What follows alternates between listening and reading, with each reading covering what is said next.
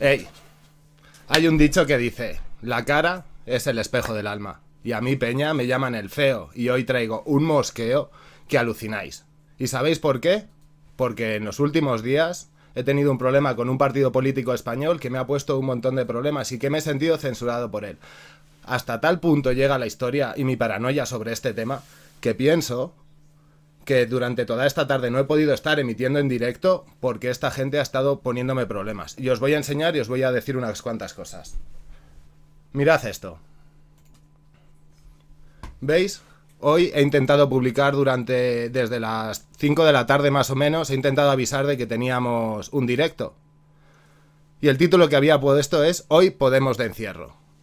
Pues ese vídeo me lo han retirado por contenido inapropiado. Y sabéis qué? Que todavía no lo había empezado a emitir en directo. Y eso, Peña, está fatal. Porque sin haber dicho nada, ya se me ha prohibido y se me ha bloqueado. Y es algo que no entiendo nada. Así que, si queréis, os pongo en antecedentes de toda esta historia que me ha venido pasando. Y así queda más claro todo. Y por favor, compartid este vídeo porque me parece que todo esto es salvaje. Mirad, empiezo por el principio. Hace porque esta historia yo no me la esperaba. Bueno, ahí va. Hace tres o cuatro días quedé con mi padre. Bueno, quedé no. llamé a mi padre por teléfono, en plan, hey, ¿qué tal? Y él me dice, ah, pues muy bien, aquí solo en casa, aburridísimo. Porque hay que tener en cuenta que la gente mayor lleva un mes encerrada en su casa y gente como mi padre no ha salido a la calle y no ha tenido ni con quién relacionarse ni con quién comunicarse. Bueno, ese no es el tema. ¿Qué tal? Ah, muy bien, me contesta. Y yo le digo, ¿y qué, vas a hacer? Tal. Me dice, tengo que ir al hospital para que me hagan unas pruebas, porque todos los meses tiene que ir a hacerse unos análisis. Y le digo, oye, ten mucho cuidado con ir al hospital, porque hace poco además había visto un vídeo de un chico que fue con su padre al hospital porque se había roto la cadera y el padre murió a la semana por coronavirus porque cogió la infección dentro del hospital. Y le dije, oye, ¿tienes algo, ¿tienes algo para, para estar ahí preparado? ¿Tienes algo para, ¿Tienes algo para ir para allá y prepararte? Y me dice, no, no tengo ni mascarillas, ni guantes, ni nada. Vale, pues ahí se queda la historia. Yo me quedo pensando y digo, joder, qué cabrones, mira que mi padre es funcionario. ¿Se ha caído? No. Bueno, pues eso. Mira que mi padre es, funcionario, ha estado trabajando para el Estado y, y, que poco está cuidando el Estado a su propia gente. Y ya está, y ahí se queda la historia y lo dejo pasar. Entonces, al cabo de un par de días o tres días después, basureando por Twitter, me encuentro un vídeo que os voy a enseñar ahora. Esperad un momento.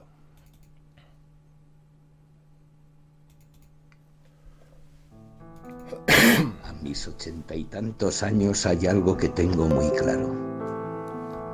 La gente siempre ha estado ahí cuando ha hecho falta. Bueno, lo quito ya pero os podéis echar una os podéis hacer una idea de lo que de lo que va todo esto. Pues es un vídeo muy emotivo que empieza con un a mis 85 años tengo claro una cosa, la gente es solidaria y no sé qué. Y en verdad es el mítico vídeo que se dedica a buscar en las emociones de la gente para tapar todas las cagadas políticas. Por eso le solté un comentario lo más educadamente posible, lo más respetuoso, en el que decía lo siguiente, y os lo voy a mostrar también. Esperad un momento. A ver, un momentito, chicos. Este es el tweet que yo les envié. Mirad. A mis 30 años hay algo que tengo muy claro, o sea, utilizo la misma retórica que ellos han utilizado con la misma entrada, que era a mis 60, a mis 80 años, no sé qué, pues yo entré igual. A mis 30 años hay algo que tengo muy claro. Mi padre con 66 ha estado toda su vida trabajando para el Estado, ha sido profesor por más de 35 años, ayer le llamé, me dijo que tenía que salir a la calle pero no tenía una mascarilla. Gracias por cuidar de tu gente, gobierno. Pues yo qué sé, yo sin más, creí que esto era el mítico tweet idiota que no va a ningún sitio. Pues ¿sabéis con qué me encuentro? Con que a los 10 minutos la cuenta de Podemos me ha bloqueado. Y a mí esta historia me parece como ultra salvaje, ¿no? Porque he sido educado, he sido respetuoso y he hecho una crítica que tampoco es destructiva, que desde mi punto de vista es constructiva. Y la respuesta es que no hay diálogo y que cualquier intento de disidencia o de crítica del tipo que sea es callada.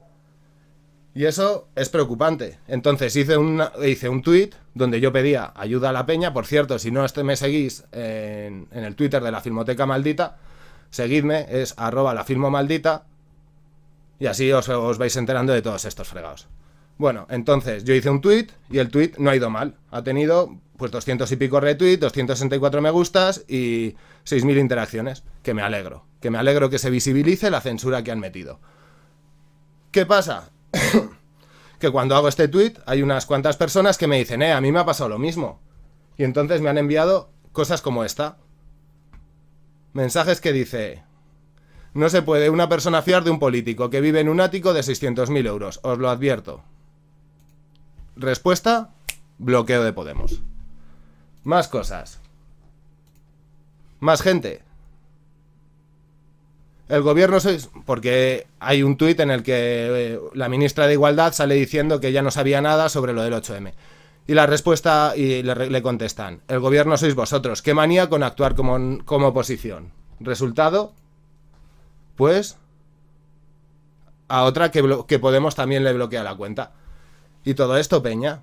O igual os parece una tontería y que tengo la piel muy suave, pero creo que es peligroso y que ningún partido democrático debe de silenciar ninguna voz, por muy crítica que sea. Y además os voy a contar una cosa. ¿Sabéis qué? Este tipo de voces, como la mía o como la de la chica esta, o la del otro chico, se han silenciado porque son voces educadas, respetuosas y que plantean un problema para que se reflexione. Mientras que los tweets de gente que está fuera de control, de gente de, extrema derecha o, directamente los trolls, esos sí que los consienten. A esa gente no la bloquean. ¿Por qué? Porque tienen un motivo para victimizarse, para hacer el juego político con eso y para utilizar el Twitter de una manera peligrosa, que es lo que están haciendo todo el rato, Peña, todo el rato. Y eso... ¿Y qué más me he encontrado? Aparte de todas estas historias, que no sé qué vais opinando sobre todo esto. Porque yo he entrado aquí más caliente que la Virgen y no... Y ni siquiera os he leído un solo comentario. A ver qué me decís. Bueno, pues aquí estamos 140. Entonces, este es el tema. Habéis visto toda esta historia. Entonces, este es el rollito que me traje en el día de ayer con, con Podemos. Y en el día de hoy he anunciado que quería emitir un vídeo y me he llevado tres, o sea, tres bloqueos antes de que empiece el vídeo. Os vuelvo a enseñar eh, la imagen está, para que ahora ya todo tenga más sentido y esté más contextualizado. Vídeo retirado por contenido inapropiado. Pero ¿cómo puede estar el contenido, cómo puede ser mi contenido inapropiado si faltan 6 horas para que emita? Eso es totalmente imposible. No puede ser. ¿Por qué se ha prohibido este vídeo? Porque si veis el título del vídeo es Hoy Podemos de encierro. ¿Por qué? Porque ya ayer avisé en el Twitter que iba a mencionar este caso en, en, mi, en mi red social, aquí en YouTube. Y esto es lo que me he llevado. Pues nada, Peña. Y ya que estoy metido con este tema, me gustaría profundizar un poco más en, el, en esto de Podemos y los partidos políticos. Y me gustaría enseñaros un vídeo que he estado recuperando de hace unos cuantos años. Os vuelvo yo. Os voy a enseñar un vídeo que he estado recuperando, que he recuperado de hace unos cuantos años de cuando era más pequeño. A ver qué os parece. Y os lo voy a enseñar. Un momentito, Peña. Ay, vamos para allá. Esto está muy interesante. A ver si lo podéis, si lo llegáis a escuchar y todo está bien. Me vais diciendo. Va a poder llegar a, transformar las estructuras políticas porque no formamos parte de ellas. Mientras que por otro lado nosotros creemos que el auténtico éxito del movimiento, del proyecto este político, en verdad se encuentra en el tejido social que estamos construyendo, en el empoderamiento de la gente, en la toma de conciencia. Aquí siguen. Una maquinaria que funciona un año después, que desgasta también algunos nos cuentan lo han abandonado. Otros, sin embargo, se incorporan. Detrás, la lucha del cambio, un nuevo modelo oh. económico, político y social. Ángela Gallardo Bernal, RT, Madrid. Bueno, pues eso, Peña. ¿Por qué os pongo esta mierda? Os lo pongo porque yo he formado parte del movimiento 15M desde muy dentro. Lo he conocido. Si basureáis, aparte de esta entrevista en RT, eh, vais a encontrar eh, en televisión española, en Radio Nacional, en un montón de sitios. Si veis, os puedo poner un minuto antes, como yo en ningún momento me siento apoderado de nada. Cuando me preguntan este cómo me siento, os voy a decir cómo me, cómo me identifico de- dentro de este movimiento. Lo aclaran. No en nombre de, sino de. ¿Participante mejor? Vale, pa- participante del movimiento. ¿Por qué? Porque toda la gente que participó dentro del movimiento social del 15M tenía claro unas cuantas cosas, que era un movimiento social apartidista, horizontal y que no iba a formar parte nunca de las estructuras de poder, porque considerábamos que se podía hacer política de otra manera distinta. Cojonudo, ¿sabéis qué ha pasado con esto? ¿Queréis que os cuente unas cuantas cosas? Porque ahora que tengo un mosqueo de tres pares, si queréis, tiro de la lengua y vamos viendo qué ha pasado, de dónde viene Podemos, por qué surgió, porque os voy a contar una cosa. Mirad, en este vídeo, justo en este mismo vídeo que estábamos viendo, en el que salgo yo por ahí, sale una señora, por cierto, esta señora que aparece por aquí es una de las personas más importantes dentro de los movimientos sociales en redes sociales. Y aparece mucha más gente. Si os dais cuenta, toda la gente que aparece sale en la calle. Yo salgo en la calle, la gente sale en la calle, esta chica sale en la calle. ¿Sabéis quién aparece al principio del vídeo? Este tipo. Y este tipo no está en la calle. Y este tipo ahora en este vídeo, cuando habla de esta historia, no está, no está hablando como alguien que forme parte del movimiento. Está hablando desde fuera. Y entonces, ¿cómo es posible? Vuelvo a traer. ¿Cómo es posible que alguien que no ha formado parte de un movimiento social genere un partido político y toda España sienta que ese partido político está relacionado con el movimiento social? Os lo puedo explicar facilísimamente, porque como he estado dentro del movimiento, tengo todos los cotillos para contaros. ¿Sabéis qué ha pasado con esta historia? Pues es bien sencillo. El movimiento social tiene unas estructuras, y esas estructuras son comunicación, abogados y un montón de gente más, cada uno con sus correos electrónicos y sus redes sociales. Pues muy bien, por ejemplo, el Twitter de Acampada Sol, o el Twitter, o, o el Facebook, perdón, de Spanish Revolution, cuando se creó Podemos, ¿sabéis? Recibieron una llamada. Y les dijeron, ¿os apetece formar parte de esto? Y os ponemos un sueldo. Y de repente, Spanish Revolution y el Twitter de Acampada Sol empezaron a cobrar dos mil y pico euros y se convirtieron en los community manager. ¿Qué pasa con eso? Que con toda la gente que formó parte del movimiento, de un movimiento apolítico, pues esas redes sociales se han utilizado para un para no para el movimiento, sino para un partido político. Y han utilizado todo el trabajo y todo el crédito de toda esa gente para joder. A ver. ¿Qué me estáis contando? Bueno. Esa es la historia, Peña. ¿Qué pasa? ¿Eh? Yo no tengo ninguna historia ni con la derecha ni con la izquierda. Si seguís mi canal sabéis que me intento mantener al margen, que intento tener un discurso crítico, pero la verdad es que esta historia y esta gente me toca las narices. Son parásitos. Que lo sepáis. Son parásitos y han parasitado un movimiento social, lo han destruido, destruyeron todas las redes, todo ese tejido social del que yo hablo, hablo al principio del vídeo que os he puesto en, Rusia en televisión. Todo eso lo destrozaron. Para sacar de ahí, porque no fueron a las asambleas de mierda de los barrios a decirles sumaros a esto, no, no, fueron a los puntos fuertes, que es gente que viene de ciencias políticas y sabe perfectamente dónde tiene que atacar. Así que, Peño, mucho cuidado con este tipo de presa, de, de parásitos y de gente peligrosa. ¿Y sabéis por qué? Porque al final, todos estos acaban en el poder y nos traicionan, nos olvidan y hacen lo que me acaban de hacer. Bloquearme en cuanto se me considera una voz disidente. Y lo mismo, y si echáis un ojo a lo que os estaba comentando, a- al vídeo que publicaron hace un par de días, Spanish Revolution, la verdad es que me entraban ganas de vomitar. Es un vídeo que no, que se ve perfectamente que es partidista, hacia a quién está echando la culpa, a quién le está lavando las manos, en vez de plantear esto como un problema real, en el que se ha visto que el gobierno no ha tenido una buena gestión de, la crisis.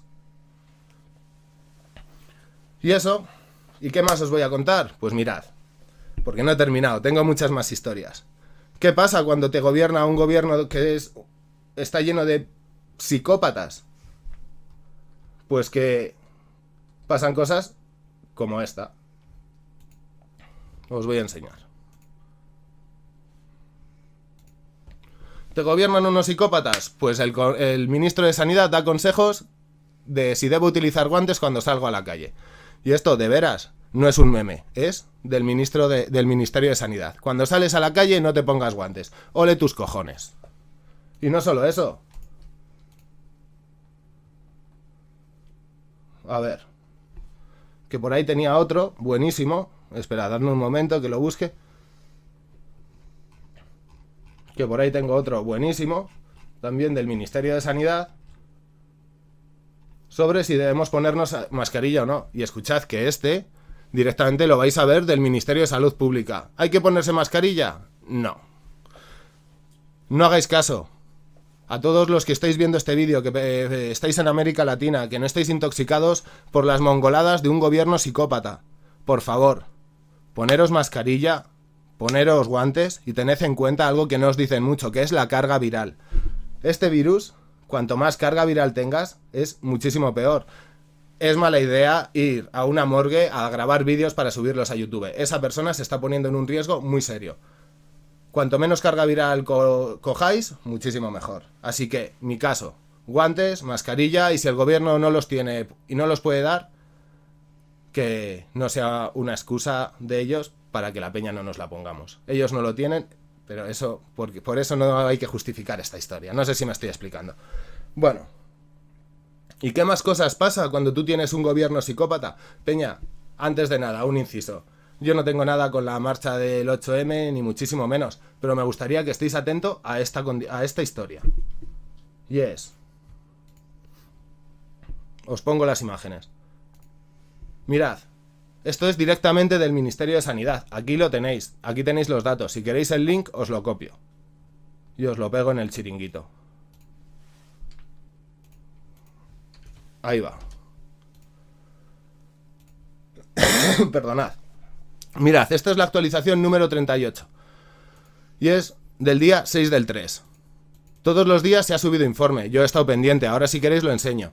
Entonces iríamos al día 38 y si cambiamos un 8 por un 9, debería aparecernos los datos del día 7. No sé si veis lo que estoy haciendo.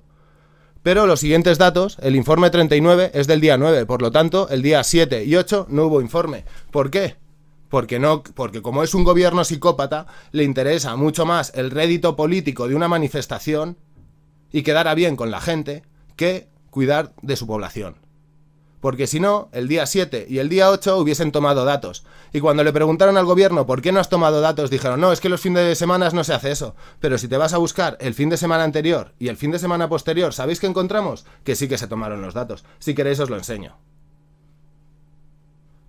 Y esto es del 9 del 3, que es fin de semana. Y aquí sí que hay datos. Así que cuidado, Peña. No, espera, 9 del 3 no, pero vamos, que os pongo este. Y este sí, del 15 del 3, esto sí que es fin de semana. Y aquí no hay datos.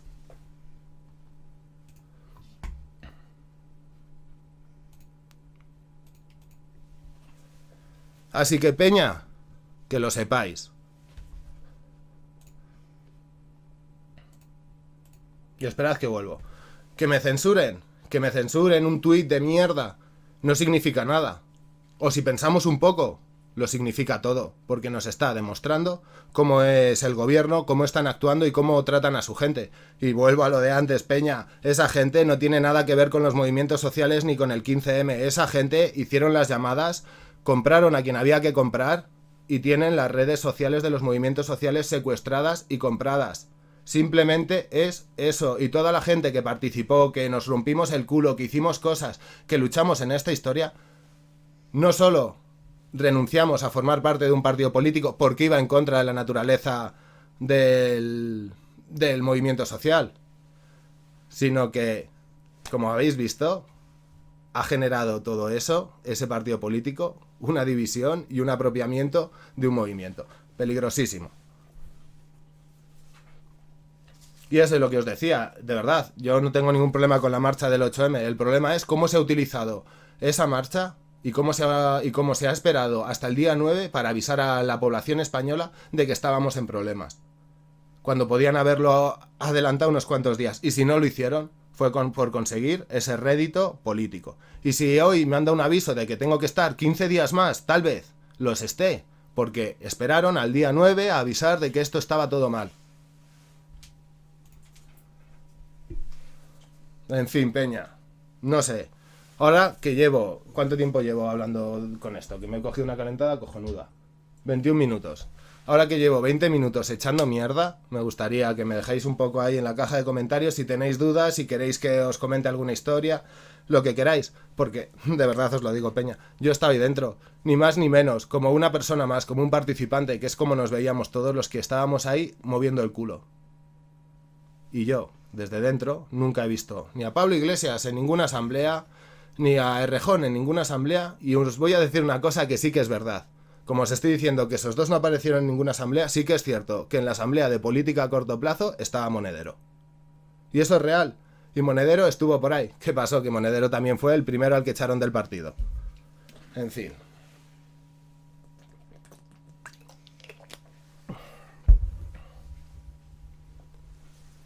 Y luego eso, que como he tardado como me han bloqueado tres veces el vídeo para poder hacer este directo, la verdad es que me he pasado toda la tarde acojonado.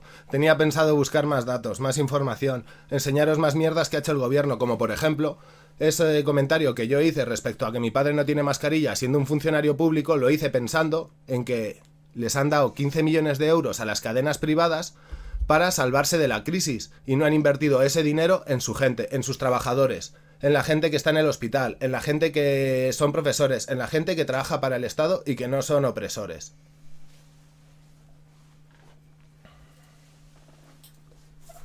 Así que Peña, Podemos es cáncer. Y al que no le guste lo que le diga, yo que sé. Ya sabéis, os podéis desuscribir, no tengo ningún problema con eso.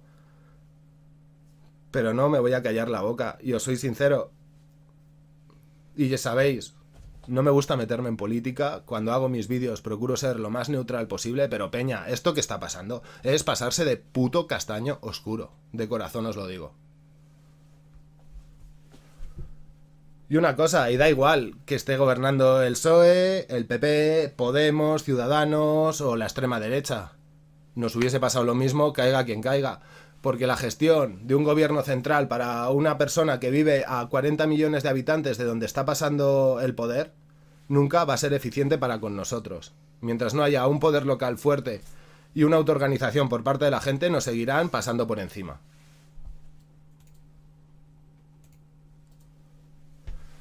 A ver, me dice uno, soy votante de Podemos, o lo era, pero pienso exactamente lo mismo que tú, te aplaudo, feo.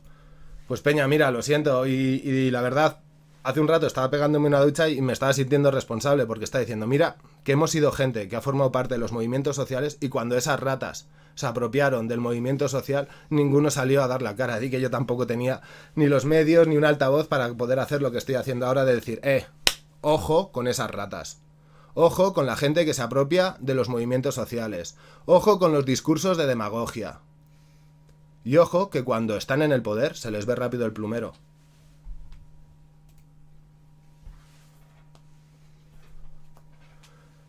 Y a ver, ¿qué más me ponéis por ahí? Aquí en Murcia pasa algo así en Podemos. Al final de senador terminó un compañero de la Facu de Filosofía, otro chaval de buena familia, muy listo y honrado, hay que decirlo.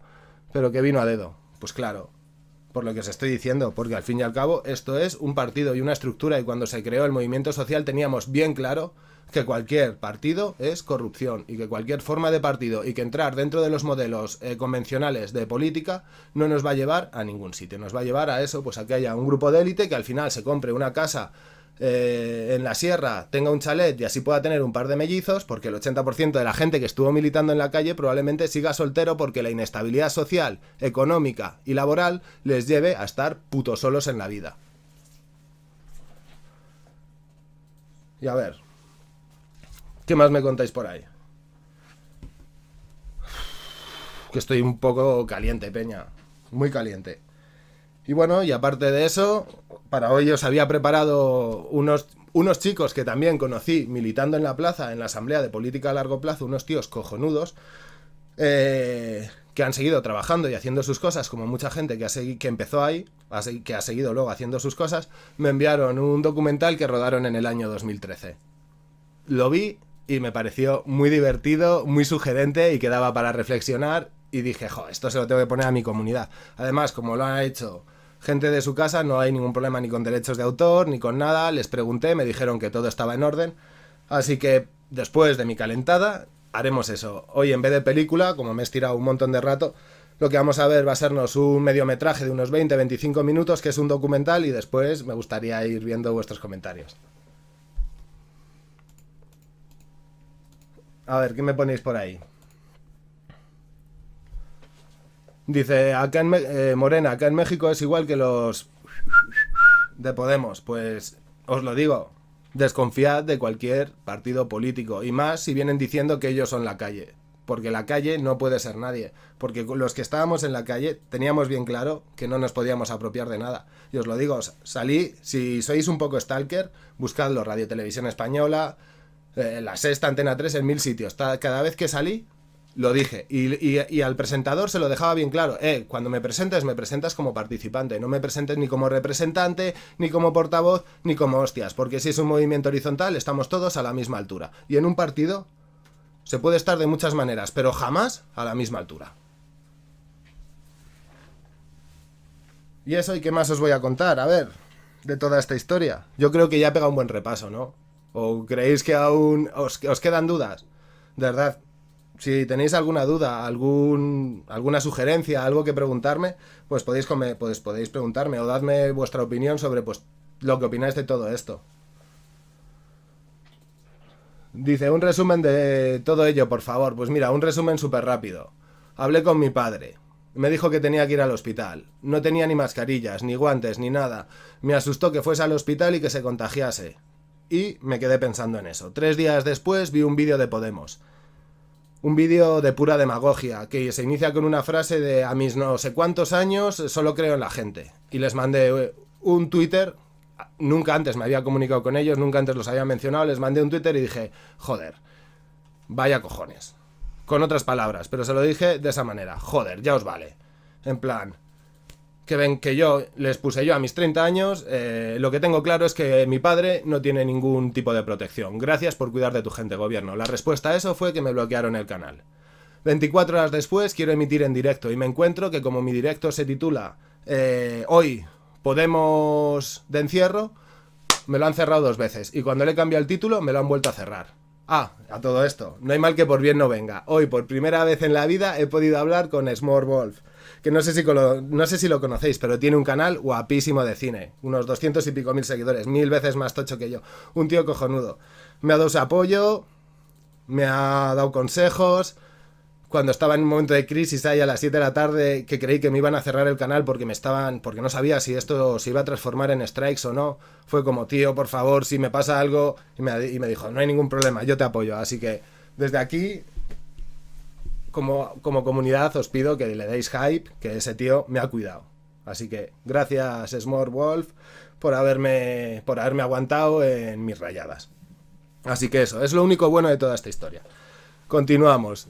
He ido a emitir en directo, no he podido emitir en directo y al final de toda esta historia, pues he conseguido emitir y ahora os estoy contando un poco un resumen de lo que ha pasado, acompañado de una carta de presentación sobre mi militancia que quiere poner de manifiesto que todo esto que hemos vivido en los últimos seis años con los partidos políticos nuevos es una creación artificial. Por tanto, Podemos, como Ciudadanos, como Vox, lo único que han puesto de manifiesto es que el negocio de los políticos o los puestos laborales en, el, en el Congreso estaban disponibles y que se ha abierto una nueva casta. Pero eso es lo único que ha pasado. Dice uno, Smorken Wolf, un capo de la vida. Sí, la verdad es que sí. De nuevo, gracias, Smorken.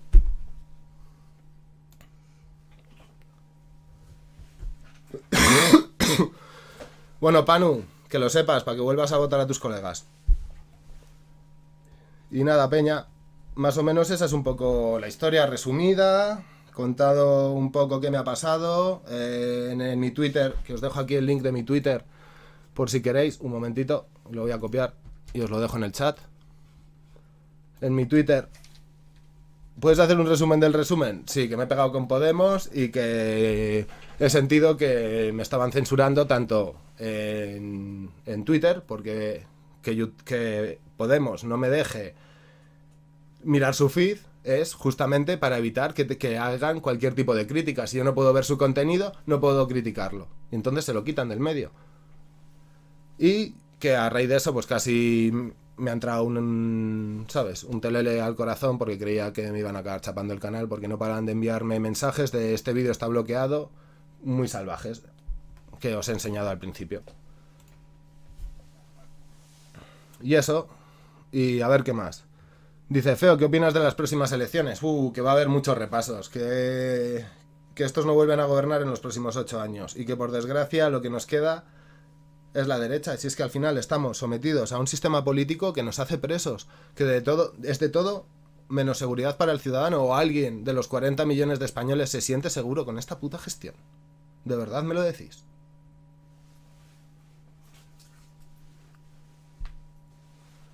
Y a ver qué me y a ver qué me dice Bonfire Tales me dice otro o por cierto otro canal que me encanta el de Bonfire le tenéis aquí os dejo su nombre que deje el link al canal, que, que trabaje un poco en autospamearse, hombre. Pues ese chico también me queda muy bien. Y, y ya está, pues que me estáis comentando. ¿Qué, ¿Qué, piensas de la época a la que entraremos? ¿La censura por redes se hará viral? Pues no lo sé. La verdad es que yo hasta hace unos días me sentía bastante tranquilo aquí en YouTube. Creí que no iba a pasar nada, que todo estaba como en orden. Pero eso no parece que sea así, porque me han chapado tres veces un vídeo antes de hablar en él. Y eso no, no, está bien. Me dice uno, ya no existe ni derecha ni la izquierda. No, existe que las personas tengamos juicio crítico. Y es lo único que nos puede salir adelante.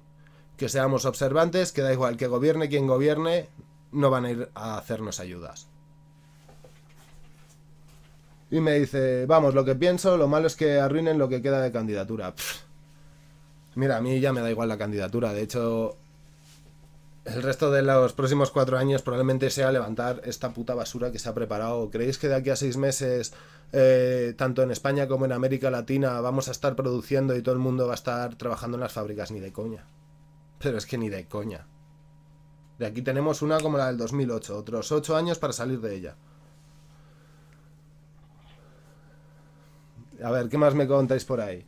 Dice Peña, aquí pasó algo gracioso con un partido político llamado Colombia Humana. Sacó un millón de votos en la capital y en elecciones de alcaldía solo 200.000. Y se creen dueños del pensamiento. Pues qué os voy a decir, Peña. Y a ver. ¿Qué más? ¿Alguna duda? ¿Alguna pregunta? ¿Alguna historia? ¿Algo más que queráis saber sobre mis andaduras antisistema donde conocí las calles y donde no me encontré nunca con Pablito Iglesias ni con Íñigo de Rejón, nunca jamás, Zero Times. ¿Y por qué son ellos los, los que se han adueñado del movimiento? No lo sé. Pero desconfiad. Y cada vez que oigáis la palabra 15M y Podemos, poned una cruz porque esas cosas no van juntas. Y me ponen por ahí, vamos a estar jodidos. Dicen dicen que la crisis va a, ser, va a ser peor que la del 2008. Pues es muy probable, Peña, porque en el 2008 no se paró durante dos meses la economía a cero. A cero, que en España llevamos, vamos a estar 15 días con las industrias chapadas. Que afortunadamente... Pues todo decir esto está mal, ¿no? Pero afortunadamente eh, el capitalismo ha fluido y eso ha hecho que no que hasta que entremos al desabastecimiento nos pasen un par de meses. Pero si seguimos en este ritmo, llegaremos a una época de desabastecimiento. Y si pasa eso, la gente se va a poner violenta. Si solamente un virus, bueno, solamente no, si un virus es capaz de desestructurar y generar crisis sociales, porque no sé si sabéis las, la que está pasando en Ecuador, Peña. No sé si habéis visto los vídeos de Ecuador, de gente quemando cadáveres en las calles, eh, los servicios sanitarios saturados de bolsas de basura con peña dentro y cosas así. Si hay alguien ecuatoriano, por favor que me escriba un parrafillo así largo y lo leemos para que toda la comunidad pues nos cuente un poco cómo están las cosas en Guayaquil y en el resto del país. Me dice uno, Feo, una pregunta sobre Monedero en el 15M. Tengo entendido que él siempre estuvo en contra de los círculos ciudadanos, ¿verdad? Creo que sí, y es por un poco por eso, porque al fin y al cabo, los círculos, bueno, no me quiero meter mucho en eso, Pero sí que es cierto que Podemos estuvo en el 15M, sí que es cierto que participó de la Asamblea de Política a Corto Plazo, os cuento un poco más si queréis, en Madrid, en la Puerta del Sol, era tanta gente debatiendo sobre temas de política y con ideologías tan encontradas que decidieron dividirlo en dos grupos, uno de política a corto plazo y otro de política a largo plazo la política a corto plazo de temas institucionales, la política a largo plazo de temas relacionados con el modelo, el neoliberalismo, el capitalismo y las estructuras de poder. De vez en cuando se juntaban para llegar a puntos comunes. Pues Monedero era una de esas personas que participaban de la Asamblea de Política a Corto Plazo. A ver, ¿qué más me contáis por ahí? Me dice Barney, feo, es algo muy horrible lo que te ha pasado. Y luego dice, pero en mi país el hermano del presidente fue a un juicio por narcotráfico y perdió. Y había pruebas de que el presidente está en algo también. Aquí en España también al, cuñado del rey, o lo que sea, a Urdangarín también le han metido en la cárcel. ¿Y sabéis qué? Le han metido en una cárcel que es solo para mujeres. El único hombre en una cárcel de mujeres. Qué cruce, ¿eh? Cómo se nota que todos los españoles estamos al mismo nivel. Seguro que a vosotros también os pondrían una cárcel de mujeres si entréis en la cárcel, solo si decís que venís de parte de la filmoteca maldita.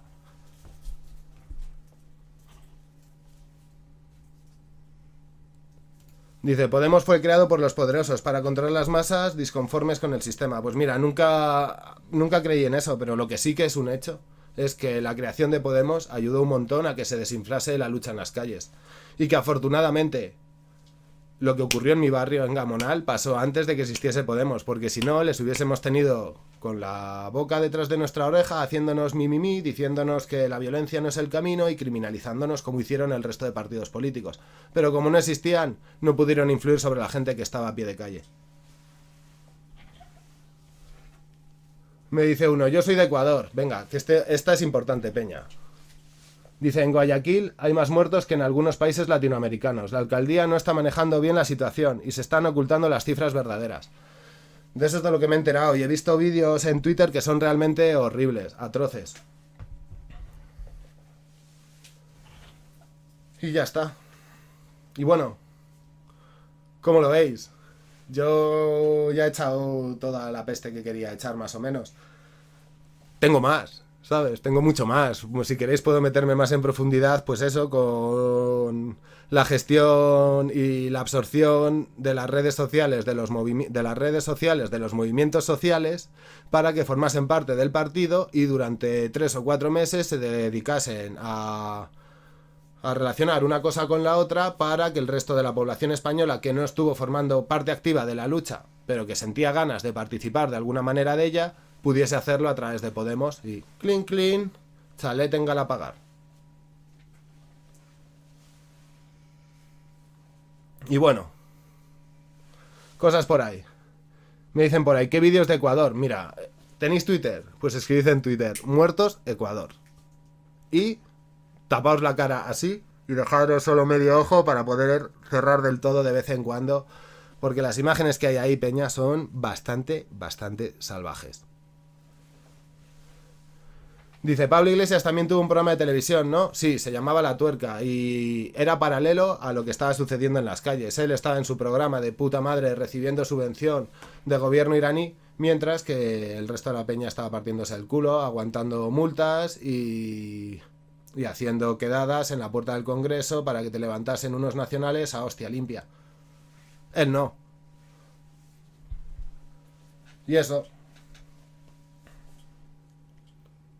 Dice, Putin ha cambiado la constitución para gobernar 30 años más. Desde que ha entrado en democracia Rusia, desde que terminó la URSS, solo ha tenido dos presidentes, Boris Yeltsin y Putin. Agüita con el dictador. Pero, ¿queréis que os diga una cosa? A mí, por ejemplo, me daba miedo cuando Rajoy le tocaba juntarse con Putin. Porque es un mafioso de la KGB contra un tonto del barrio. ¿Y sabéis qué va a pasar? Pues que todos los negocios que quiera hacer Putin con España los va a hacer gratis. Y eso yo creo que es lo que valoran los rusos. Tener un gángster de presidente. Como los italianos valoraban tener un mafioso como Berlusconi. Perdón. Dice uno, En México, la mitad de la población vive en pobreza. Es imposible, bajo estas circunstancias, mantener a esas personas en sus casas, es condenarlas a morir de hambre. Hombre, está claro que si no existe ningún paquete de medidas para ayudar a la población, eso va a acabar chungo. Dice, lleven su pase, prisión en cárcel de mujeres. Lleven su pase, prisión en cárcel de mujeres de Filmo Maldita. Claro que sí, Peña, ya sabéis, delinquir. Y podéis decir, eh, vengo de parte de Urdangarín, que es todo fan de la Filmo Maldita, y nos han dicho que nos hagas un hueco aquí. Y ya está. Y lo mismo, si eres mujer y delinques y te apetece una cárcel de hombres, también. Haces, haces el mismo pedido y funciona.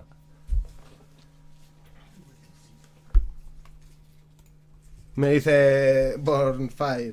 El presidente de mi país debería estar en la puta cárcel por todo el caso de la represa de, Ita- de Itaipú. El tipo casi regaló toda nuestra energía. Para que no lo sepa, Borfire es paraguayo. De los mejores canales paraguayos que me he encontrado nunca.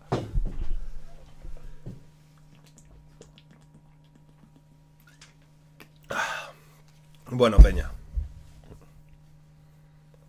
Me ponéis un poco al día de cómo está yendo la pandemia en vuestros sitios. Me vais pasando.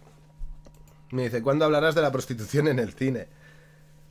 Me da miedo hablar de la prostitución en el cine. Podría hablar de la prostitución del cine y hablar un poco de Hollywood, que sería un tema muy interesante. Pero bueno, lo que os decía, estamos de pandemia, es un momento histórico, están pasando un montón de cosas. En mi país, por ejemplo, censuran a la gente que está en contra del gobierno. El gobierno da 15 millones a las televisiones privadas para que se dediquen a dar su discurso y los turcos nos roban los aviones. Porque no sé si os habéis enterado de esa, pero Turquía nos ha secuestrado un avión con respiradores y con mascarillas y con todo el chiringuito.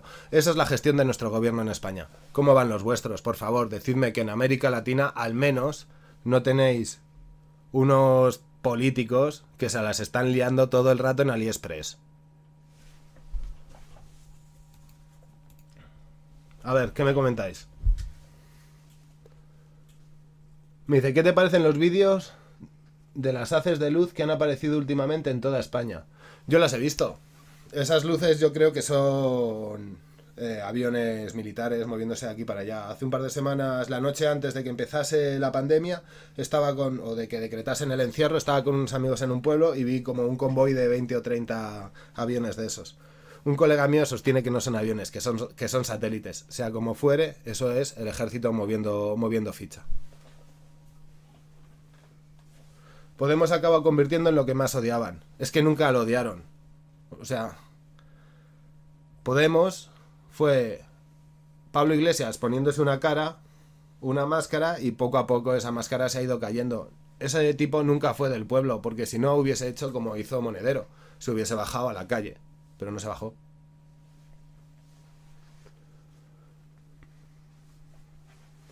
Dice a Iker Jiménez y a Carlos Herrera el gobierno les ha dicho que dejen de hablar mal del gobierno o les censuran sus programas. A Iker Jiménez ya le han censurado el programa porque ya no emiten la sexta. Y yo os pido que si este canal tiene cualquier tipo de problema, eh, si lo cierran, si hay cual- cualquier historia, por favor, os pido, por favor, que lo difundáis y que hagáis ruido, porque es injusto, porque este es un canal sano. Y lo habéis visto, yo me dedico a hablar de cine, a no meterme en fregados, y por este malentendido, que no me voy a quedar callado, os lo digo, si alguien me calla la boca y tengo la posibilidad de quejarme, lo voy a hacer, y es lo que he hecho en este vídeo. Y si me censuran y si cierran este canal, por favor, haced ruido, que somos 65.000. He trabajado dos años como una rata para que esto funcione. Me he dejado los lomos. Son dos vídeos semanales durante dos años. Y me daría mucha rabia, Peña. Mucha rabia que la censura nos rompiese. Me dice, pero no solo podemos. ¿Han leído Rebelión en la Granja? La historia se repite. Rebelión en la Granja, para quien no lo conozca, es un libro de Orson Welles muy cortito, que no tendrá ni 120 páginas, que hace una metáfora de la situación de la URSS después de la Segunda Guerra Mundial, teniendo en cuenta, bueno, antes de la Segunda Guerra Mundial, porque ya, por como empieza el libro, es la historia de la URSS, desde 1920 hasta 1950, que es más o menos, en el- o 1960, que es más o menos cuando se escribe el libro. Y eso, y es una fábula que utiliza animales para hablarnos sobre la historia de un país. De un país que tuvo además muchos problemas con la censura y con la libertad de sus ciudadanos. Y que eso es una de las causas principales de que la URSS no siga viva a día de hoy. ¿Qué he dicho yo? De, he dicho he dicho Orwell, ¿no? He dicho Orson Welles. Porque he sido, puedo ser tan gilipollas desde haber dicho Orson Welles. No, quería decir Orwell, el de 1984. Me pone por ahí. El problema de México es sus contrastes. Por ejemplo, Ciudad de México es la capital más grande latinoamericana. Y a solo 40 minutos está Ecatepec, uno de los municipios más peligrosos del continente.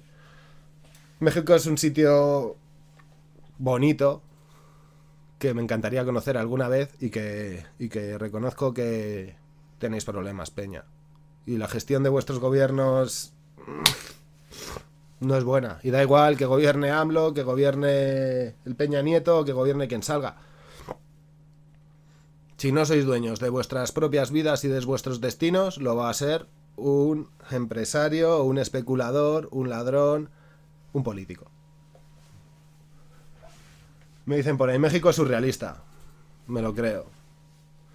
Me dice, la primera vez que vi a Pablo Iglesias fue en Hispan TV, un canal de propaganda pro-iraní en el que era analista político. Un mes después de me sorprendió verlo en el debate presidencial de España. Yo no me voy a meter, al fin y al cabo, cada uno utiliza los medios de comunicación que quiera. Si él utiliza un medio iraní, pues utiliza un medio iraní. Al final, Irán lo que le interesa es desestabilizar el modelo político. Y si un partido, y si considera que un partido de extrema izquierda puede ayudar a generar esa desestabilización, va a invertir en ellos. Aunque Irán sea un sitio con una monarquía autoritaria que obliga a las mujeres a ir prácticamente con burka y los otros sean unos paladines de la libertad, pues no hay ningún problema. En algunas ocasiones no es necesario la ideología si hay mimitos de dinero. Me ponen por ahí en Aguascalientes, México. El gobernador se quiere saltar la emergencia nacional para reactivar la economía. Ponernos túneles ¿eh? sanitizadores para lavarnos a los pobres que tenemos que ir a trabajar. Joder, peña. Vamos a ver muchas locuras estos meses. Ay. Me dice, en plena cuarentena abrieron los bancos para que los jubilados puedan retirar un bono. Se desbordó todo en un solo banco, una fila de 15 cuadras con toda la gente amontonada. Saludos desde Argentina. Ole. Pues ¿sabéis qué es eso dentro de 15 días? 200 abuelos muertos. Dice, el problema para Latinoamérica es el lastre llamado Estados Unidos, que gobierna, no gobierna, no gobierno que se ponga las patadas con... Bueno, me imagino que quiere decir, que ahí en los estates pues al fin y al cabo ellos han entendido que América Latina entera, todos los países hispanohablantes, sois, eh, yo qué sé, su puerta trasera, su jardín trasero y ahí pues de ahí van a coger los, los recursos, el cobre, los, la madera, las frutas y lo que necesiten. Dice, existe una grabación de Pablo Iglesias alabando el Islam y diciendo que las mujeres hay que zurrarles. no, la verdad, me da igual. Si es que mi problema no es personalmente con, esa, con ese tipo. Mi problema es con ese tipo de personas. Con los parásitos que se aprovechan de los movimientos sociales. Y por, y por favor, desde aquí os lo digo, los que estáis en... Los que formáis parte de mi audiencia pido que os informéis, si no queréis hacerme caso no lo hagáis, meteros en internet, informaros y la próxima vez que vayáis a votar usad un espíritu crítico y que no os vendan la propaganda de un tío que es muy buen tertuliano y un trepa.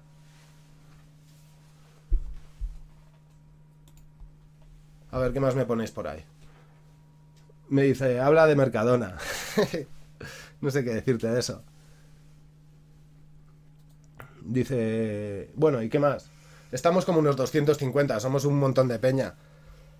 ¿Os apetece que vayamos cerrando este tema de la política? Bueno, si queréis, contadme un poco más. ¿Cómo siguen las cosas ahí en Argentina, en Chile, en Perú, en Bolivia, en Ecuador, en la República y en México, o donde sea, o en el sitio de América Latina que me haya dejado? Y después de eso, nos tomamos un relax, nos descansamos de toda esta mierda y de toda esta presión social y política que tenemos encima y nos vemos el corto, lo comentamos 20 minutos y nos vemos ya también el próximo sábado que, que, con tanta pandemia vamos a celebrar el día del aniversario, por cierto, el día del aniversario lo vamos a celebrar dentro de este ciclo de sábados donde nos cruzamos. Ah, bueno, y no he dicho Venezuela. Bueno, pues y también contadme qué tal en Venezuela.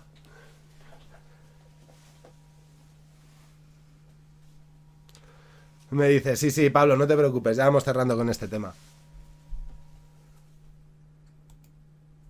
Dice, Feo, gracias por darnos a conocer a Jorge Sanginés y se transformó en uno de mis directores favoritos. Un tipo muy interesante. Me alegra mucho que el cine que os estoy trayendo, que no es un cine mainstream ni muy comercial, pero que en el fondo, yo que sé, yo me he visto esas pelis y sé que son buenas pelis, que no tienen nada que envidiar a lo de Hollywood. Me hace un montón de ilusión que las echéis un ojo, que las disfrutéis y, que os enamoréis del el cine con mayúsculas, que eso es cine con mayúsculas, Peña. Dice, feliz cumpleaños número 88 a Tarkovsky. Felicidades, Tarko. Eres una inspiración para muchos de nosotros que aprendimos a amar el cine contigo.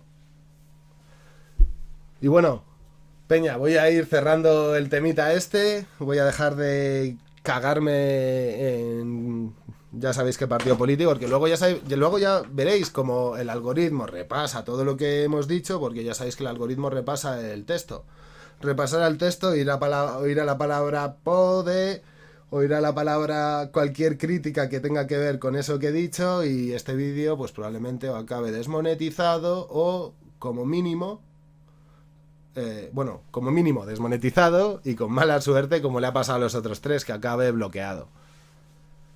A ver, Honduras, que me había dejado Honduras. Venga, a ver cómo van en Honduras las cosas. Dice, en Honduras las cosas están tranquilas. El presidente puso a todos en cuarentena, a los 10 casos del COVID-19. Ole, ole vuestro presidente. ¿Y sabéis qué sería la hostia? Que esos 10 casos fuesen investigados por las autoridades pertinentes, vean con qué personas han estado en los últimos 15 días y se intente aislar a esa parte de la población. Y si hacéis eso, le dais una lección al resto de América Latina. Dice aquí, desde el sur de Chile, ojalá pronto mejoren la situación. Dice, ojalá vuelvas a hablar de más películas mexicanas. Lo haré, Peña, pero como somos muchos hispanohablantes, hay que dar un poco de cobertura también al resto de América Latina y, y se lo merecen también. Joder, que hay un montón de cine de países por ahí que molan un montón. De hecho, hace poco me vi un, un falso documental de Luis Espina, os recomiendo mucho ese autor, colombiano, que se llama Agarrando Pueblo fantástico. Habla sobre. Es una, un poco una especie de crítica al tercer cine, que también le dedicaremos un rato. El tercer cine es un género cinematográfico que surgió en América Latina y que plantea. Creo que esto ya os lo he comentado alguna vez: que el primer cine es Hollywood, el segundo cine es el cine independiente y el tercer cine es lo que hacen en América Latina, que es cine crítico, que intenta recuperar el valor de las culturas indígenas. A ver qué me habéis puesto, que llevo un rato sin mirar. Me dicen, en Perú han aumentado mucho durante estas semanas, eso que la gente no acata la norma del presidente por consecuencias. Agüita Peña, es importante, mirad que eh, yo lo digo siempre, una de las cosas más valiosas es la libertad de las personas, pero por encima de la libertad tuya y mientras esté en tu propia mano, quédate en tu casa. De verdad, aprovecha tu libertad de que no estamos encerrados aún a cal y canto para ser solidario, ser buen ciudadano, buen compañero, quedarte en casa, porque aunque igual a ti no te maree ni te azuce el virus, es probable que lo infectes y que, yo que sé, que hagas más daño del bien que haces por darte un paseo. Dice uno, yo pienso sinceramente que el suicidio va a aumentar mucho para casi todos los sectores. Mira, os voy a decir una cosa, probablemente ya empiece, ya estén empezando a haber suicidios. Y os voy a decir otra, los medios de comunicación se van a encargar de que no se mencione ni una sola vez que está habiendo suicidios, ni de que está habiendo ningún tipo de problema. Porque para empezar, ese es un tema medio tabú, que de siempre han decidido taparlo para evitar que haya eh, brotes de suicidios y que la gente se empiece a suicidar en bloque, que es algo que a lo largo de la historia ha pasado unas cuantas ocasiones, en España incluso llegó a pasar en el siglo XIV por una revuelta judía. No me voy a meter en ese tema, tranquilos. Y y van a, van a silenciarlo. Por eso, intentad estar tranquilos, buscaros válvulas de escape, relajaros y si estáis hasta las narices de algo, buscaros algo para darle puñetazos o para desahogaros con lo que sea. Y a ver, dice, en Italia ya se están suicidando las enfermeras.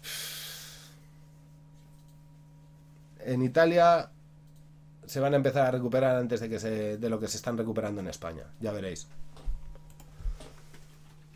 Me dice por ahí alguien, ¿has visto La Era del ñandú? Es un falso documental argentino. Pues no, pero me lo voy a echar un ojo porque, de hecho, próximamente, y no, y no tardando, y no tardando, vamos, dentro de poco os voy a preparar un vídeo sobre falsos documentales.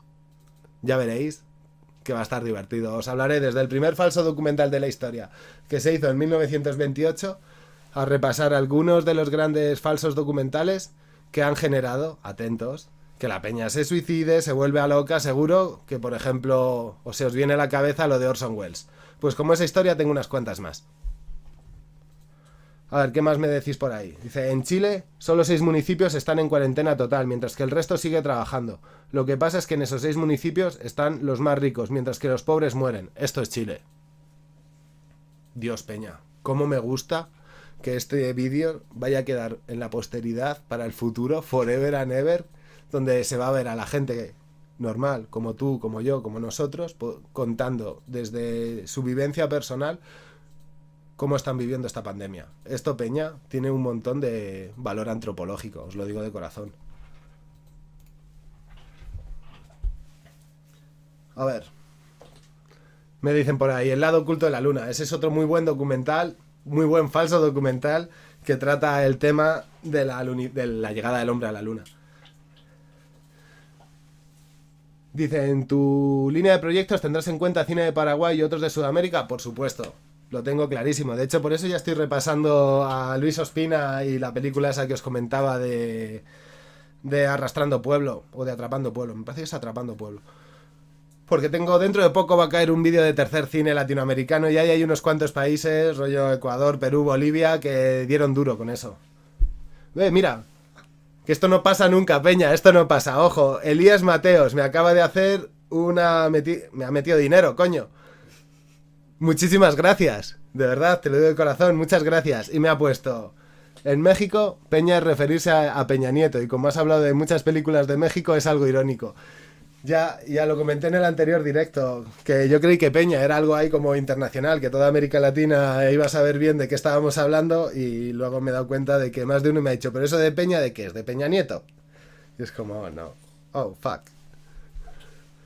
Dice, en México están tratando de poner cuarentena, pero hay muchos que tenemos que salir a trabajar o buscar trabajo. Duro. Y ese es el problema de muchas regiones de América Latina, que son trabajos de calle y que no forman parte de una empresa, que tú eres tu, tú eres tu dueño, o sea, tu jefe. Y esa gente no puede... vive al día. Y eso o el Estado protege o el Estado cuida o el Estado asesina. Peña significa gente, ¿no? Sí, Peña significa como mis carnales, mis parceros, mis... ¿Cómo me dijeron el otro día unos? Eh, mis causas. Así. Bueno, causas me dijeron que igual es un poco más fuertecito, pero... Mi Peña. Dicen, Colombia se rescataron los bancos con dinero público. Parce, eso nos lo han hecho a todos. En todos los lados. Desde Argentina a España. Pasando por México, Colombia y bueno, igual en Venezuela no. Pero, pero porque no tienen de qué sacar a la gente. Me preguntan si he leído cómics. Sí, más, que los cómics me gustan las novelas gráficas. Hay algunos autores que me gustan mucho. Me vi uno, me leí uno hace poco que se llamaba Sicario, que es de origen francés, una novela gráfica, me encantó. Además son 7 8 siete, ocho libretos solo, fantástico. Me dicen, el cine chileno es, muy conocido porque la mejor generación de directores fue exiliado por la dictadura, pero te recomiendo al gran Miguel Littin con El Chacal de Nahuer Toro. Muy buena película, creo. Tengo un vídeo doble sobre lo mejor del cine chileno, porque es cierto que el cine chileno da para mucho para hablar.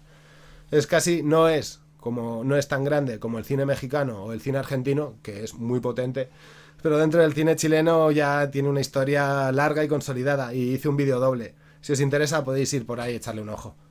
Dice otro, ¿se hará una segunda edición del Festival de Cortometrajes? Sí, en la próxima semana o en las próximas dos semanas espero sacaros el vídeo este de con los requisitos y un poco con todo las condiciones y pues cómo se hace para participar. Y ya está. ¿Cuál opinas que es el papel de los artistas hoy en día? no sé, creo que el concepto de artista en los últimos 20 o 30 años está muy diluido. Si miramos, por ejemplo, los artistas que había en América Latina en los años 70, 60 e incluso 80, desde Víctor Jara a, yo que sé, a los grandes literatos, eso sí que me parecían artistas. Es gente politizada, es gente comprometida, es gente que habla de la sociedad para la sociedad y para el pueblo. Los artistas de hoy esa gente se la puede considerar artistas o, o oportunistas del arte. No lo sé. Dice, Feo Azun viajando por el cine de Ecuador. Creo que ese aún no lo he hecho, pero caerá, peña. Os, voy, os prometo que habrá un viajando por el cine de toda América Latina. ¡Ey! Y muchísimas gracias, José Manuel Rodríguez, que me acaba de hacer un ingreso de 10 dólares mexicanos, que me imagino que se llamará así, o serán pesos. ¿Cómo se dice, peña? MXN. ¿Eso qué son? ¿Dólares? ¿Pesos? Fijaos si soy pobre como las ratas, que no tengo ni idea de divisas. Dice, deberías aplazar el festival de cortos para que la peña pueda rodar en exteriores. Sí, voy a, creo que lo he estado pensando. Creo que lo vamos a hacer. Teníamos pensado hacerlos a finales del mes de junio. Creo que vamos a estirarlo un mesecillo más para que podáis salir fuera. O si no, otra cosa es cuando vayáis a comprar el pan, aprovechad. Y este año podemos petarlo a cortos distópicos, de calles vacías, sociedades futuras, mundos posapocalípticos y cosas así. O sea, no vais a tener otro año con unos exteriores como este. Os lo digo de corazón, aprovechad. Este año el Festival de Cortos, enfocadlo por ahí, que va a estar guapo. Y somos muchos muy frikis de ese tema, así que, pa'lante. Dice, en Colombia se realizó una gran película llamada PVC1. También la dediqué un vídeo. Cuando hablé sobre películas rodadas en un plano secuencia. Es la segunda o la tercera película de la historia que se rodó en un plano secuencia. Está dirigida por un director griego y esta me parece que fue su ópera prima, PVC1. Y a ver qué más me contáis por ahí. Eh, mira, otro. Janus 10 eurazos. Hostia, tío, muchísimas gracias, joder. Mándame al correo electrónico tu, tu dirección y cuando pase la pandemia te envío un llaverito. esperad, que os voy a enseñar una cosa. Dos cosas os voy a enseñar.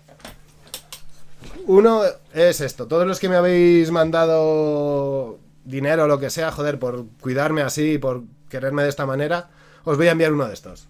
A ver qué os parece. ¿Se ve por ahí? ¿Se ve bien?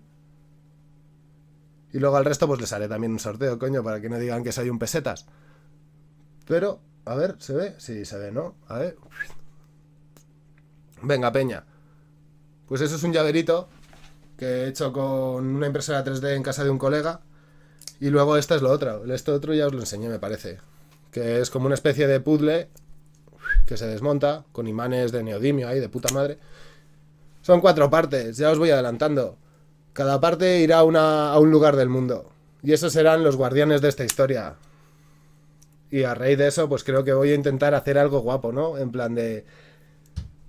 Lo repartiré por el mundo y el que sea capaz de juntarlo se llevará otro premio, alguna cosa así, en plan de... Algo que sea rollo como en Indiana Jones y y yo que sé, en busca del templo perdido, en alguna de estas que van por el mundo buscando reliquias. Pues eso, esto se dividirá en cuatro. Habrá cuatro guardianes. De hecho, ya hay uno que acertó una pregunta. Y el resto, pues se lo tendréis que quitar a puñaladas o yo que sé. Y ya está, peña. A ver, Alex Abeldaño, que, me, que no he estado mirando y me habéis estado diciendo. Argil Bueno me dice: lee sobre Ibri. Se lee la Ibri. Es un servicio de stream de vídeos distribuido y resistente a la censura. Lo leeré. Y de hecho, mucha gente me ha estado sugiriendo lo de Twitch. Lo malo es que me ha llevado dos años hacer una pequeña audiencia, que somos una comunidad pequeñísima, ¿sabes? Que el rubio se me haría en nuestra boca. Y, y ahora volver a empezar de cero me da todo el pavor, Peña, todo el pavor. Además, en una cuenta, o sea, en unas redes que son menos mainstream y que tienen menos tráfico de lo que tiene YouTube. Y a ver qué más. Alex Abeldaño. Muchísimas gracias, Alex, por el apoyo y por todo esto. Y me dice por ahí uno, el cine venezolano ha sido dirigido para resaltar figuras patrióticas, por ende dogmáticas o para resaltar la criminalidad, por ende alimentando la miseria. Pues se ven los resultados. Al cine, al cine venezolano le dediqué también un vídeo doble, hablando sobre el cine que ha sido, desde un punto de vista, que ha tenido un contenido social político y que ha estado en contra del chavismo. Y el otro, en líneas generales, cine que se realizó desde dentro de, pues con una filosofía más izquierdista. ¿Veis? Para que veáis que no estoy tan que no soy un roñas de estos que se dedica a generar opinión y a politizar a la peña. De hecho, cuando intento hacer un vídeo intento mostrar las dos caras, que cada uno saque sus conclusiones y que tire millas. Dice, ¿alguna película o serie que recomiendes para pasar la cuarentena? Oz, seis temporadas. Ocho capítulos por temporada. Una hora por capítulo. Perfecto. ¿Y qué más? A ver. Vamos. Que llevo aquí hablando una puta hora. Una, una hora y siete minutos, pero peña, estamos locos. Me estiro de la hostia. ¿Os apetece que os ponga ya el corto de los colegas? El documental de los colegas, a ver qué os parece. Muy interesante. Dice, ¿puedes explicar nuevamente cuál fue el problema? Llegué tarde. Va, échale un ojo porque lo, he contado, luego alguien me ha pedido que lo resumiese, lo he vuelto a resumir líneas generales es que un partido político se ha enzarzado conmigo y que he sentido las mandíbulas de la censura en mi nuca. Y por eso he venido aquí a echar unas pestes. Dice, veamos el corto. Sí, ponlo. ¿Dónde? Venga, vamos para allá, Peña. Vamos para el corto. Eh, cosas que tenéis que saber de antemano antes del corto. Creo que os tengo que leer la sinopsis de esta historia para que tenga más sentido. O al principio venía un, venía un comentario. Bueno, os leo. Voy preparando aquí. Os leo y os pongo y voy desapareciendo mi cara de gilipollas. ¿Habéis visto, Peña? Qué poco pelo. ¿Eh? Esto tiene que crecer. Me he cortado yo el pelo. Eso ha sido. Eso ha sido una mala idea. Peor idea incluso que comentar un puto vídeo de Podemos. Muchísimo peor idea. Y bueno, vamos para allá. Me voy quitando del medio. Y aquí estamos. Paz. Se titula Benway, el hombre y su obra.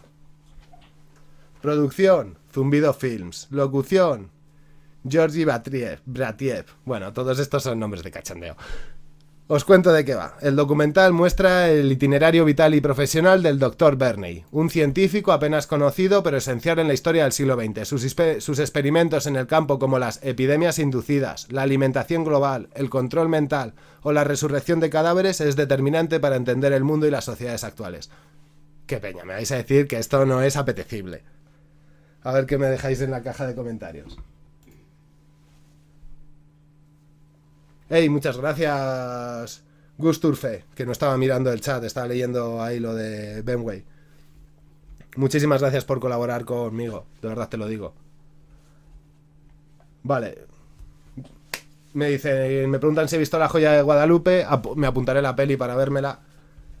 Y Peña, creo, creo que va siendo hora de que os ponga el vídeo. ¿Os parece buena idea? Voy poniendo esto en grande, voy a ir silenciándome a ver. Esto ya está aquí.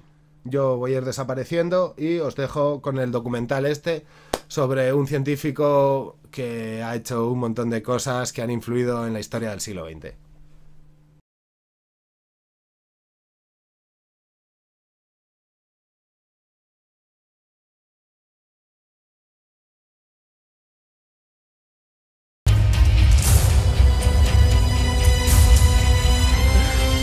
Pasa, Peña? ¿Qué os ha parecido? ¿Eh? He estado leyendo vuestros comentarios y la verdad es que me lo he pasado súper bien, pues escuchándoos y viendo lo que decíais. Que me, nos parece un ejercicio espectacular, ¿eh? Lo que han hecho estos chicos es acojonante. De hecho, ahora no tengo el móvil a mano. A ver, ¿dónde, tengo el móvil? Eh, por aquí, en el bolsillo, esperad. A ver. Ya se os puedo decir quién es. Uno se llama Jorge, y a él le conozco, es un tío de puta madre. Y me comentó que este vídeo lo hicieron en el año 2013 y que... Y que yo que sé, que lo tenían ahí escondido, muerto del asco. y que me lo pasaban para compartirlo en un sitio y me pareció, yo que sé, lo vi y me pareció un bombazo. Y nada, les escribí pidiéndoles que me lo dejasen. Uno se llama Jorge, otro se llama Pablo y por ahí tengo... eh, hay un tercero, pero no recuerdo el nombre. Me vas a pedir disculpas, tío. O sea, me vas a... Te voy a pedir disculpas porque no recuerdo tu nombre. Y, ya está, no sé, a ver qué me vais comentando. A ver, pone por ahí. Por aquí hay un sorete que cree en los falsos documentales que se hacen pasar por reales. No dudo que también se haya comido este. Joder, esto ha sido súper divertido, la verdad. No sé qué opináis de todo ello. Yo me lo he pasado muy bien. Me apetecía además compartiroslo porque me pareció, pues eso, lo que os decía antes, un ejercicio, pues muy creativo, muy inteligente y que, y que es afilado, que de- yo que sé, que entre líneas, en el fondo te está haciendo un poco de verdad una historia del siglo XX, pero de sobre la broma, pero de trasfondo hay muchas cosas por ahí reales. Me dice, deja el link por ahí para compartirlo. Pues venga, los chicos que me lo han pasado lo han subido a una plataforma que se llama ok.ru, que es lo que os decía, antes de estar aquí en ok.ru no estaba en ningún sitio.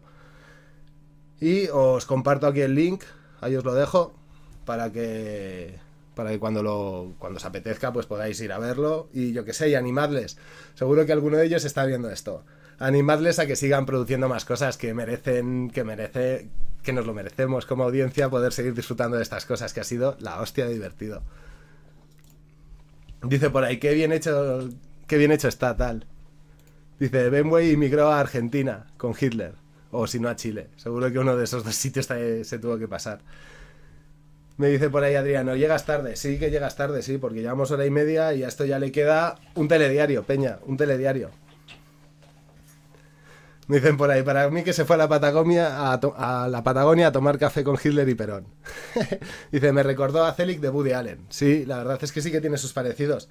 Es lo que os decía, estaba. Además, este vídeo me recordó lo divertidos que son los falsos documentales y que estaría bien que hiciésemos un repaso a este tema dentro del. Pues dentro del canal. Y dentro de poco, pues lo veremos. Me dice por ahí uno. Feo, el verdadero cinéfilo. Ah, y otra cosa, antes de que termine otra vez, quiero volver y reiterar mis, agradeci- a- mis agradecimientos a Smoker Wolf. De veras, tío. Muchas gracias por estar ahí al pie del cañón cuando estaba más histérico apoyándome. Te debo una. Y si te apetece, lo dejo aquí caer en público. Si te apetece hacerte una colabo conmigo, por mí encantado, tío. Te lo digo de corazón. Ha sido la hostia. Y me dijo, me, di- me dicen por ahí, me gustó el tipo que hablaba al revés. Es ahí ya el documental, en ese momento, yo cuando lo estaba viendo, en ese momento fue ya como el culmen. Fue cuando dije, joder, qué cabrones, estos han rizado el rizo, o sea, lo han hecho todo. Han utilizado la voz para. Han utilizado los textos para manipular y ya al final se han reído de eso tanto que han- son capaces de ponerlo invertido y darle ya, ¿sabes? Fuegos artificiales al asunto. Me dice por ahí, ¿cómo andas feo? Te veo distinto. Sí, que me he cortado el pelo. Y me lo he cortado yo solo. Entonces eso ha sido una chapuza cojonante peña. Y, aparte me he quitado la barba y toda la historia. Y estoy feo. O estoy más feo que nunca. Dice uno por ahí, en ese momento dice, dije, hey, qué carajo, supongo que te estás refiriendo a cuando es la voz invertida. Ya, en ese momento es cuando ya el documental, ya, para mí ya es una vuelta de tuerca total. Y yo qué sé, y está divertido también que a mitad, del, a mitad del ejercicio ya te estén dando ese tipo de pistas de que todo esto es un cachondeo, ¿sabes? Y a ver qué más. Me decís por ahí, feo, guarda el en vivo que quiero ver el documental de nuevo. Os he dejado el link por ahí, lo dejaré en la descripción o si no en los mensajes. Sino que alguien deje un mensaje por ahí se lo anclo. El primero que deje un mensaje con el link que he dejado de los chicos estos, lo dejo por ahí anclado para que directamente podáis ir y pum, verlo. Me dice uno por ahí, ¿viste el falso documental de Jaime Altozano? Sí, sí que lo vi. Y me dio mucha rabia porque yo tenía una cosa en la cabeza y siento como que se me ha adelantado y si lo hago ahora va a parecer que lo copio. Pero llevaba tres años con una idea en la cabeza que no os voy a contar, Peña, porque la voy a hacer tarde o temprano. Y ahora con todo esto del Jaime Altizano se me han quitado las ganas. Pero muy buen, otro tipo que ha hecho un muy buen ejercicio. Un gran creador de contenido. Hay que reconocérselo. Y a ver qué me dices por ahí. Gracias, Feo, por existir, joder. Gracias a vosotros por existir. Que si yo no estuviese, si no estuviésemos aquí ahora los 200, somos 200. En el primer directo no estábamos ni 50. Pues si no fuese por vosotros que me animáis y que me empujáis, de veras, yo ni- igual ni hubiese seguido con esto.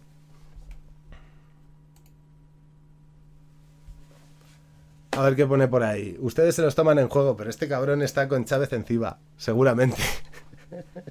Se está refiriendo a Ben Way, ¿sabes? Al del que acabamos de ver el documental.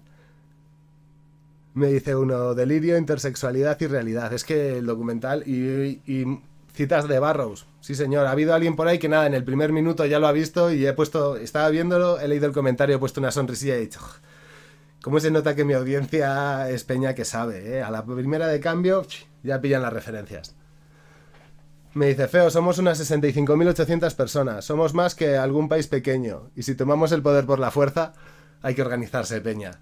Sigamos presionando, a ver si llegamos a los 100.000 y ya con la con la plaquita de esa, a ver si ya somos capaces de montar una pequeña revolu, ¿sabes? Me dice, eres el primer, de, el primer creador de contenido que realmente sigo. Y tu modo de ser alegra esta realidad. Joder, Adriano, muchísimas gracias, de verdad te lo digo. Y de vez en cuando me llegan comentarios de eso y yo qué sé, me llegan a la patata, os lo digo de corazón. Me dice uno, recién llego, ¿qué me perdí? que alguien le haga un resumen que alguien haga un resumen, que se ha perdido todo, se ha perdido cómo estaba enfadado, cómo se ha enseñado vídeos de Young feo cuando era pequeño y estaba todo politizado. Y luego nos hemos visto un falso documental súper divertido de un colectivo que lo hizo en el año 2013. Y, ahora estamos comentando un poco eso y en 5 o 10 minutos me voy a ir despidiendo y nos vemos el próximo sábado, no lo recordéis que mientras duren las pandemias, mientras estemos aquí encerrados, pues todos los sábados nos vemos un rato y socializamos, así recortamos un poco la distancia social esta que nos ha puesto el gobierno y estamos más cerca, porque es bueno y es importante quedarse en casa, peña, quedarse en casa, en serio. Y mira, es que no me gusta repetir los eslóganes del gobierno ni estas historias, pero esta vez sí, en eso estoy de acuerdo con ellos. Hay que, hay que cuidarse, hay que cuidar de los nuestros, hay que salir poco, la carga viral es importante, cuando menos carga viral tengamos muchísimo mejor. Guantes, mascarilla, no hacer caso a los psicópatas de los políticos españoles que aconsejan que no lleves esas cosas y ya está, peña. Me dice uno, te perdiste el de burro. Sí, es que el documental tiene unos puntazos muy serios. Y a ver qué más. Me dice uno, podrías decir Uriel cara de ratón. Venga, ahí lo tienes. Ahora, ahora lo coges y ya se lo puedes, lo puedes utilizar de musiquilla para cuando te llame y molestarlo. Me dice uno, Fe, ¿usas Discord? No, no uso Discord, pero el otro día intenté hacer con vosotros una especie de live ahí directo en el que vosotros me ponéis al día de cómo van las cosas y yo os voy contando. igual por Discord podríamos conseguir un poco mejor, eh, que tengamos un poco más de feedback que la conversación vaya más fluida, no sé si podré ir dando yo paso a las entradas. Y no sé si un Discord va a ser una locura donde vamos a acabar todos ahí locos de la cabeza. Pero bueno, es una posibilidad, se puede plantear para el futuro. Dicen por ahí, saludos desde Chile, saludos a todos los chilenos. Tengo para Chile un vídeo preparado, Peña, que ya os voy adelantando. Os voy a adelantar una cosita para que cuando salga el vídeo de Chile estéis bien pendientes. Pero cuando yo estudié la carrera, tuve un profesor que estaba con el informe RETIG, que no sé si sabéis qué es eso. Es un informe sobre desaparecidos chilenos durante la dictadura de Pinochet. Supongo que los chilenos saben de qué les hablo. Pues mi profesor fue una de esas figuras internacionales que se encargaron de repasar el informe RETIG y de realizar los, los estudios y los resúmenes para la publicación final. Pues que sepáis que yo tuve acceso a tres informes, bueno, a tres casos del informe RETIC, donde se habla sobre toda la represión que sufrieron los chilenos. En su momento eso era información clasificada, imagino que han pasado ya más de 25 años del informe RETIC, porque es del 91, creo. Y y podría mostraros un poco, hablaros sobre eso y utilizar ese, ese vídeo o, o ese documento como excusa para contaros un poquillo sobre cine y dictaduras durante la segunda mitad del siglo XX. Por ejemplo, Costa Gabras tiene varias películas, una que se llama Missing, sobre la desaparición de chilenos, que encajaría mucho en esto que os estoy comentando, y tiene otra que se llama Estado de Sitio, que habla sobre... Eh, eh, la importancia y la influencia que tuvieron los Estados Unidos en Uruguay en los años 70 con el movimiento de los Tupamaros y todo esto. Pero Peña, no voy a haceros el vídeo ahora sobre la marcha. Que sepáis que esto es ahí el previo. Esto es el previo. Pero habrá un vídeo sobre Chile con documentación clasificada del gobierno chileno, con películas muy interesantes de directores reconocidos y muchas historias más. Así que estaros al loro. Así, yo que sé, México, vamos a dar una salida al resto de países latinoamericanos que tienen una historia bien guapa y así, yo que sé, nos hermanamos un poco más. Me dice, Feo, ¿el muñeco en tu estante es de Crash Bandicoot? No, no lo sé. En verdad ese muñeco me lo encontré tirado en la calle cuando vivía en Madrid y yo que tengo un poco de diógenes me pareció simpático y me lo llevé para casa y desde entonces me acompaña. Muchísimas gracias, Cristian Ramos, por el aporte, ¿eh? te lo digo de corazón. Me ha dado 5 pen. No sé qué serán pens, no sé qué divisa es esa. Si alguien lo sabe, que me lo, que me lo confirme. Ahí, media de qué va. Me dice uno, el Retic, el Retic y el Ballet. Eso es. Pues de esos, de ese informe, que es, yo que sé, pues que es algo muy importante y que dentro de la historia chilena es un ejemplo que tal vez hubiésemos debido de copiar en España, porque eso es... No voy a decir nada a favor de la democracia chilena, pero eso fue un ejercicio de saneamiento democrático. Muchísimas gracias, Ceci Ceci, o sea, Ceti Ceti. Me dice, un abrazo desde México, abrazo abrazo en medio de la pandemia. Sí, bueno, eh, hacemos como hacen ahora los políticos, que hacen así, chocan. Un abrazo para ti, para toda la comunidad latinoamericana y para todo México, que por cierto, sois mi primera audiencia, casi el 40% de la peña que entra en mis vídeos sois mexicanos. Muchísimas gracias, carnales. Sois mis vatos locos. Y me dice uno, narco, abrazo desde México, hombre. Sin narco, abrazo solo, joder, desde México y para los mexicanos.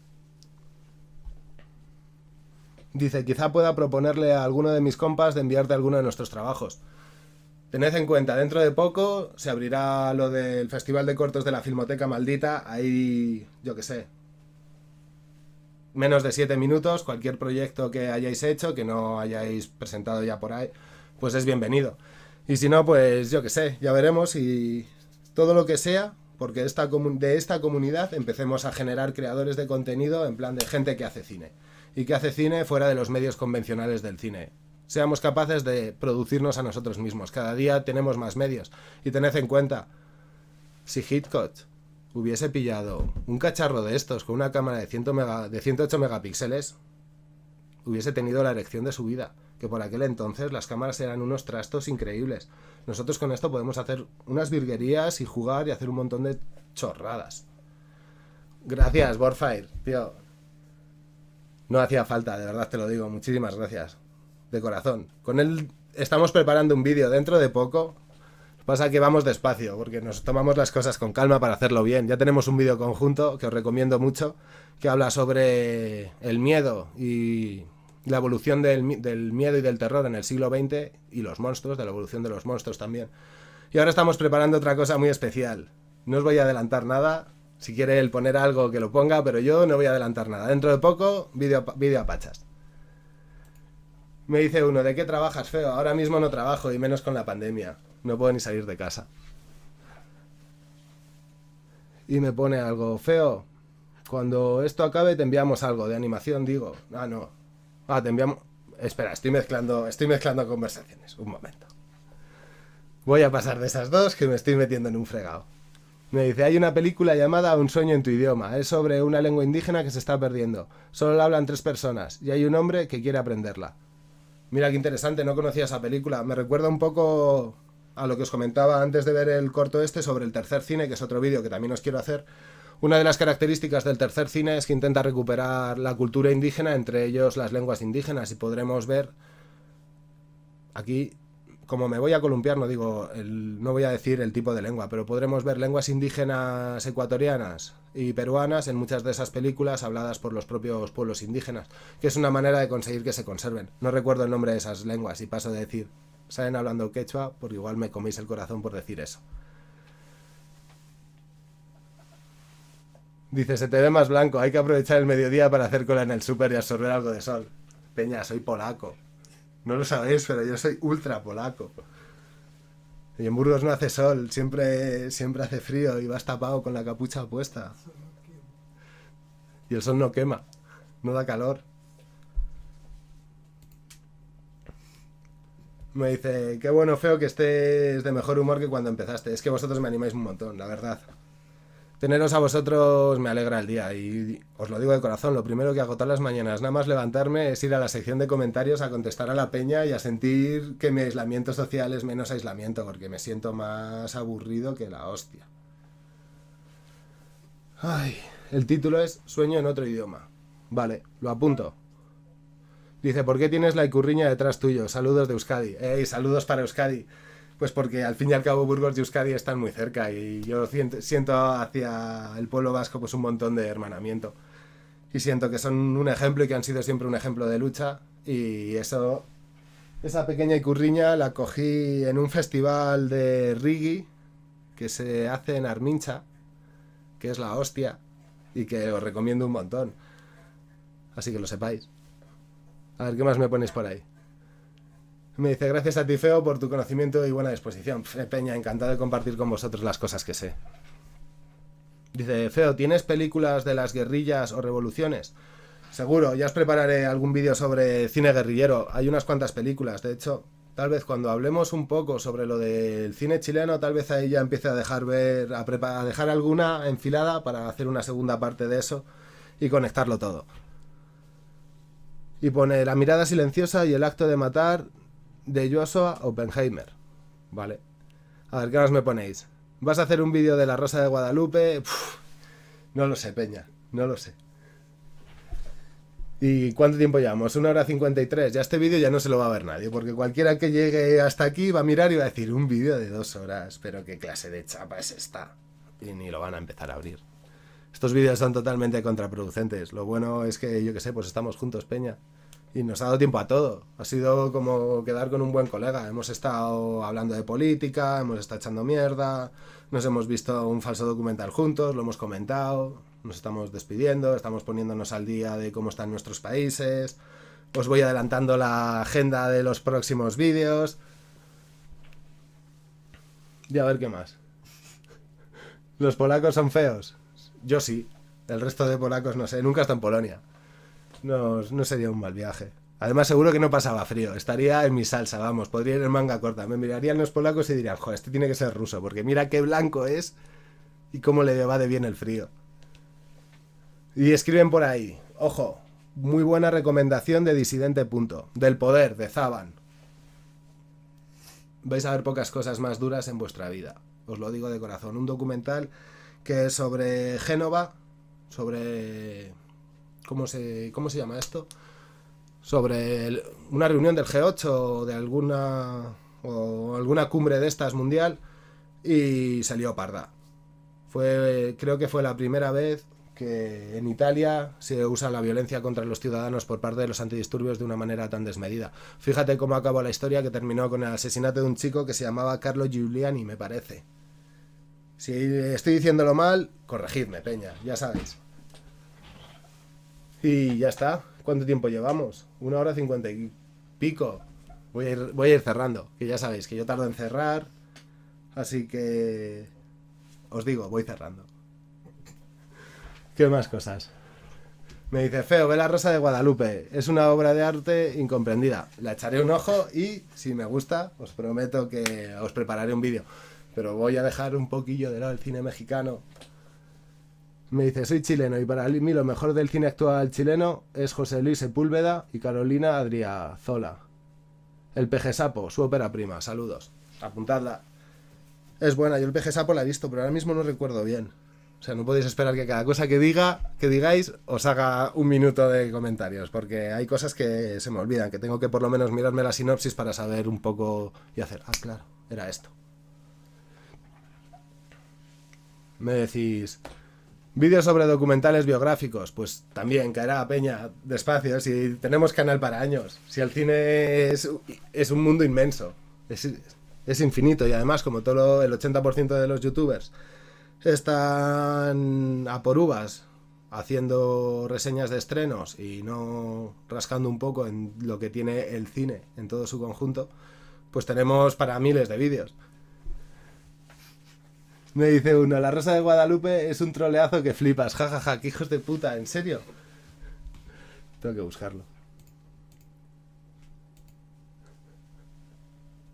Voy a buscarlo, cabrones. Así me vais a hacer el cierre. Eh, hay una serie del 2008 que tiene que ser más mala que el hambre, ¿no? Un 2 con 3, qué sucias ratas sois. Uf, qué cabrones. Esto es un cierre. De verdad, esto me dais para el cierre. Me queréis una mierda. Y yo que sé, peña. Ahora sí que voy a ir despidiéndome. Que me habéis sacado los colores, me dejáis rojo y con mal sabor de boca. Mirad la primera parte del vídeo, estaba mejor que esto. Y... Yo que sé. Estoy leyendo, te están troleando, te están troleando. Sí, Peña, ya lo sé, me están. Me dice, ¿hay algún sitio para comunicarte personalmente para proyectos? Sí, escríbeme. Por ahí en más información está el correo electrónico que es el lado oscuro del cine. Porque soy tonto y en vez de llamarme la filmoteca maldita en el correo electrónico me puse otra cosa distinta. Porque igual al principio creo que el canal se iba a llamar así y al final como soy un personaje, lo cambié toda a última hora. Y ya está. Nos vemos, Peña. Hasta la próxima. Ah, no, esperad, esperad, una última cosa, una última cosa. Antes de nada, el próximo sábado nos volvemos a ver. Y ahora ya sí, hasta la próxima.